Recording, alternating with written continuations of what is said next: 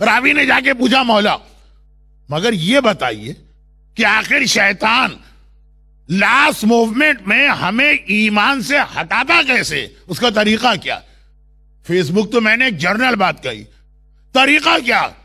इमाम का जवाब देखिए, इसीलिए मैंने आज मजलिस के शुरू में कहा कि जो बात मैं कर रहा हूँ, वो आगे मेरे टॉपिक से रिलेटेड होगी। झूठे एक्सक्यूज इमाम ने कहा, देखो, शैतान किसी को उसके ईमान से कैसे महरूम करता है, ईमान कैसे चोरी करके लेता का एक तरीका, आदमी गुनाह करके अगर एक्सक्यूज ढूँढने लगे, बस समझ लो कि गया उसका ईमान।